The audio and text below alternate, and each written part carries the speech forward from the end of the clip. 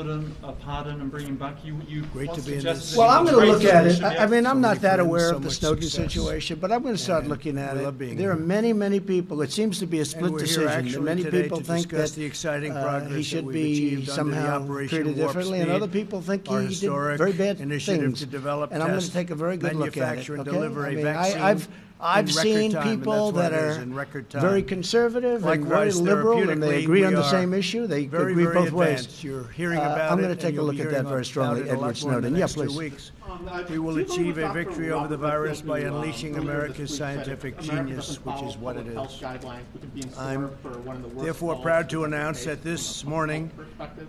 The No, I mean, you can't compare Moderna it to, vaccine has officially uh, entered phase 1917. three That already. incredible. And That that's was, uh, phase three that was the clinical worst ever trials, by the far. final That was- you look at stage that, They lost before possibly approval. 100 million people. No, There's I never- don't agree with that. But if you look at these numbers, they're coming down very substantially. And I do believe that Americans, many are wearing masks, which is a good thing.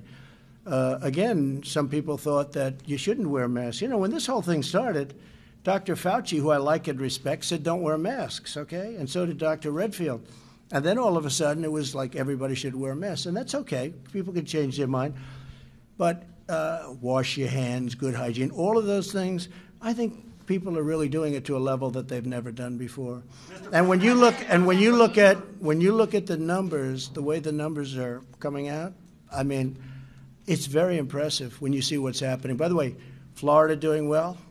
You see that? And hospitalizations and you know, normally you would have had to build more like we did for the first surge. We've done it right. We closed it up. We had the greatest economy in history. We closed it up.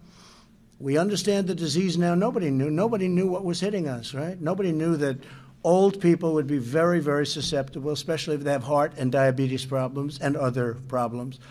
That old people would be very susceptible and young people would be extremely good with it. If you look at the percentages, there are a tiny percentage that have problems, especially the big problem.